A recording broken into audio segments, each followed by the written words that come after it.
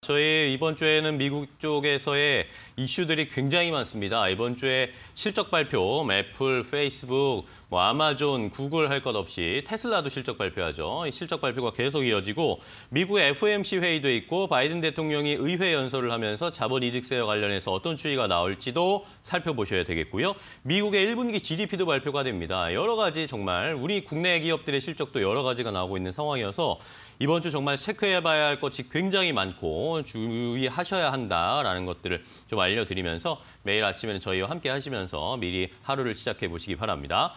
자, 그러면 이제 또 시장에 조금 더 깊이 한 걸음 들어가서 어떤 일이 있었는지 어떻게 대응해야 하는지 알아보도록 하겠습니다. 오늘은 어, 권혁중 경제평론가와 함께 시장에서 어떤 일이 있었는지 왓첩 확인해 보도록 하겠습니다. 평론가님 안녕하세요. 네, 안녕하십니까. 반갑습니다. 자, 이렇게 또 이른 아침을 뵈니까 아, 반갑습니다. 자, 이렇게 새벽 아침 6시부터 저희가 시장을 대비를 하고 있는데 자, 오늘은 또 어떤 이야기를 해볼지 권혁준 평론가와 어, 첫 번째 이야기가 멀시 역시 지금 여기 뒤에 나오고 있지만 네네. 유동성 장세 현재 진행되고 있는 것인가 계속 이어지고 있는 것인가 네. 시장에 자금이 계속 돌고 있는 것인가 많은 분들이 궁금해합니다. 시장이 요즘 약간 어, 재미가 없거든요. 맞습니다. 약간. 재미가 없죠 요즘에. 그래서 많은 개인 투자분들이 야 이거 계속 주식 투자 안 해야? 해야 되지. 음. 해야 되나 말아야 되나. 뭐 다른 데로 다른 투자로 넘어가야 되나. 이렇게 고민하시는데 아직은 뭐 유동성 장세는 맞습니다. 우리가 좀 통계를 볼 필요가 있겠는데요. 네. 이제 광의 통화량 봐야 되겠죠. 당연히 지금의 현금이 어느 정도 시장에서 돌고 있는지 어, 지표기 때문에 광의 통화량 어, 본다면은 13일 한국은행이 발표한 2021년 2월 통화 및 유동성 자료에 따르면요.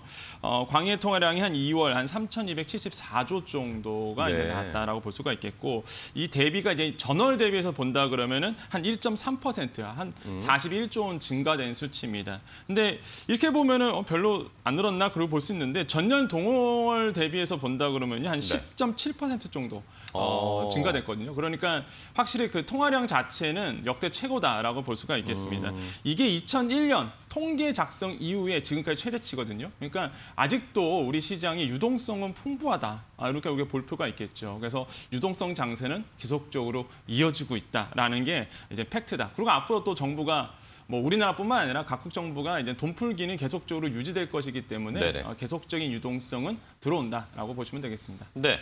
자, 이렇게 유동성은 여전히 뭐 풍부하다라고 분석을 해 주셨는데 네. 그런데 요즘에 시장은 왜 이렇게 지지부진할까요? 물론 뭐 지수는 조금씩 조금씩 계속 올라오긴 했지만 네. 우리 개인 투자자분들이 투자하는 데 있어서는 뭔가 드라마틱한 수익을 내기가 쉽지 않기 때문에 아마 네. 그렇게 느끼실 것 같아요. 이 금리 상승에 대한 압박이 계속적으로 뭐 주식시장을 억누르고 있는 분위기가 있습니다. 네. 그러니까 뭐 아시겠지만은 금리가 상승된다 그러면 당연히 뭐 자산 시장에는 압박할 수 있는 그런 그렇죠. 요소로 이제 작용할 수밖에 없잖아요. 돈이 이제는 이제 주식 시장 쪽으로 자산 쪽으로 안 흐르기 때문에 그런데 뭐 대표적인 예로 이제 금융 시장에서의 이제 뭐 유동성 본다 그러면 역시나 아, 제롬 파월 의장의 입에 달려 있는데 그렇죠. 3월 17일 날 뭐 발표를 했습니다. 이미 뭐 FOMC 정례회의 때 이- 23년까지는 올리지 않는다 라고 금리에 대해서 네네. 올리지 않겠다고 재확인해줬죠. 하지만은 뭐 이미 뭐 한참 지난 지금 본다 그러면 뭐 시장에서는 전혀 믿지 않는 예, 그런 이제 추세로 가고 있고요. 문제는 이제는 미국이 아니라 미국 이외의 국가라고 볼 수가 있겠습니다. 어. 미국 같은 경우에는 백신 보급 속도 굉장히 빠릅니다. 그러면은 경제가 어, 예전으로 돌아갈 가능성, 그러니까 속도가 굉장히 빠르게 회복될 가능성이 있는데 문제는 미국 이외의 나라에서 백신 보급률이 낮고 무엇보다 그쵸. 경제 회복이 더디게 움직일 가능성이 있습니다. 그렇게 되면 뻔한 얘기입니다. 당연히 이제 미국의 경제 회복수가 빨라지면은 금리 상승에 대한 압박이 있거든요. 강달러 계속 지- 지속된다 그러면 해외 입장에서는 당연히 통화 약세로 가기 때문에 그 미국 이외의 국가들은 어쩔 수 없이 이 미국 눈치를 보면서 금리를 상승해야 되나 말아야 되나 이 눈치를 볼 수밖에 없거든요. 이러한 어떤 잠재적인 요소가 뭐 우리나라뿐만 아니라 신흥국 등에 영향을 미치고 있는데 최근에 달러 유출에 대해서 대비해서 야, 달러 유출될 것 같다. 그러니까 뭐 러시아라든지 브라질이라든지 아니면 터키 이런 신흥국들이 선제적으로 금리를 올리고 있는 추세입니다. 어. 대표적인 게 러시아죠. 최근에도 얼마 전에도 23일에 한 번 더 금리로 인상을 했습니다. 인플레이션 위험을 이유로 해서 기준금리를 다시 한 번 인상을 했는데 기준금리를 4.5%에서 이제 5% 그러니까 50 basis point를 올렸거든요. 어, 그 전에도 한 번 올렸었습니다. 근데 또 올린 거예요. 그냥 그 정도로 어, 뭐 미국 이외의 나라 신흥국 중심으로 어, 이런 금리에 대해서 민감하게 지금 반응하고 있고 투자자 입장에서 본다 그러면 당연히 야 이거 금리가 계속적으로 오를 가능성도 있고 실제적으로 이런 신흥국 중심으로 올리고 있으니 네. 야 이거는 이거 좀 주식시장 주식을 하기에는 약간 머뭇거리는 이런 음. 압박감으로 좀 작용할 수, 작용하고 있다. 특히 우리나라도 마찬가지죠. 음. 우리나라도 이러한 어떤 금리 상승, 미국 국제 금리 상승이라든지 어, 미국의 변화에 의해서 굉장히 뭐 우리나라도 변동성 있게. 좀 반응하고 있다고 볼 수가 있겠습니다. 네. 자 그렇다면 이 국채 금리에 대한 압박이 여전히 지속되고 있고 말씀해 주신 것처럼 달러 이 환율과 관련된 이야기도 있는데 네. 이것 외에도 뭔가 다른 이유도 있을까요? 그렇죠. 이제 가상 통화. 아, 예, 그렇죠. 네. 어쩔 수 없는 이 수급의 변화가 좀 네. 일어나는 모습이 있습니다. 주말 사이도 난리였습니다. 에, 정말. 뭐 아시겠지만은 뭐 개인 투자자 많은 분들이 사실 이제 주식 시장에 있다가 가상 통화 쪽으로 이제 투자를 늘리시는 분들이 좀 일어나고 있죠. 주식 시장 좀 조정기를 걷고 있고 반대로 이제 가상 통화 시장에서는 가상화폐 이제 암호화폐 시장에서는 자금이 쏠리는 부분이 있었는데요.